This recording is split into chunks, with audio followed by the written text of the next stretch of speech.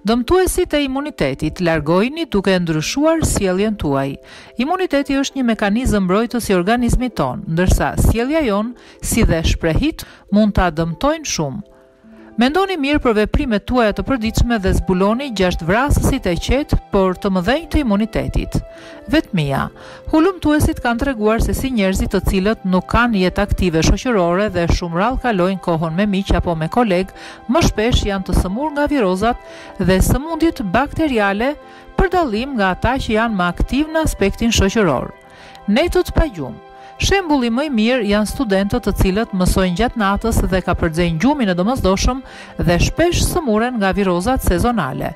Gjumi i keq dhe i pamjaftueshëm është i lidhur ngushtë me rënien e imunitetit, sepse organizmi i tyre është i dobësuar dhe i lodhur dhe vështirë lufton me bakteret dhe viruset e ndryshme.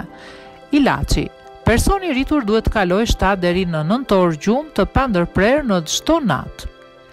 Pesimizmi, Është dëshmuar se si pesimistët, respektivisht, personat të cilët në gjithçka shohin vetëm negativisht, sëmuren më shpesh nga griprat, ftohjet dhe alergjitë e ndryshme. Arsyeja pjesërisht qëndron edhe në kujdesin e tyre për shëndetin dhe trupin, por edhe në energjinë e cila është faktor shumë i rëndësishëm i mënyrës kualitative të jetesës. Mënyra pozitive të menduarit është më pak stresuese dhe të gjithë e dimë mirë se si stresi na bën keq. Ushqimi i keq. Nuk kemi nevojë të theksojmë veçanërisht se sa shumë ndikon në imunitetin dhe shëndetin tonë ushqimi që e fusim në organizëm. Po kështu personat që kapërcejnë mëngjesin dhe rrinë të uritur janë më të prirur ndaj sëmundjeve nga viruset dhe infeksionet sezonale. Koha e lirë, aktiviteti fizik është i lidhur ngushtë me shëndetin. Personat që nuk ushtrojnë janë më të prirur ndaj ftohjeve dhe virozave.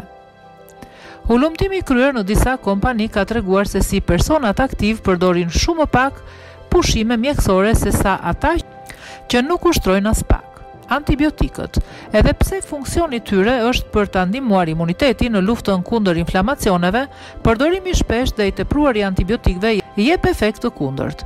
Ilaçet e tilla spostojnë mekanizmin mbrojtës natyral prandaj pas shërimit trupi juaj ka nevojë të kthehet në gjendje normale Dhe atëherë është më së shumti i ndjeshëm.